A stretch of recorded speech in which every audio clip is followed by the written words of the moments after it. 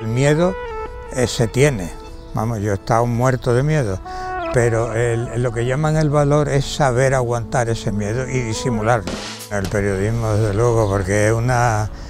En el plano que yo lo he hecho, que es de corresponsal, es un privilegio, ¿no? Porque te puedes meter, lo mismo tomar un té con el Shah de Persia, con el emperador, que ir a una guerra, que es una cosa tremenda, pero que tiene una parte de aventura y de emoción, luego de asco también.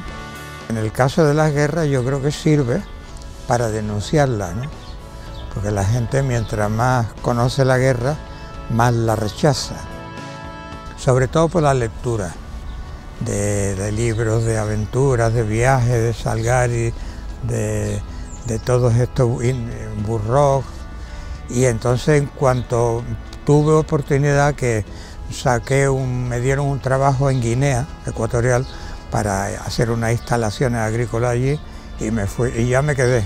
Me gustó el hecho de mm, ser, hacer lo que hizo Colón en su tercer viaje, meternos en la misma brisa y por la misma ruta, bajando al paralelo 12, e ir a, a Trinidad Tobago, que fue Colón. Pero nosotros teníamos un primitivo GPS y sabíamos que nos quedaba 2.238 metros. ¿Y, ¿Y dónde íbamos? Y ellos no, ellos eh, iban para allá pero sin saber.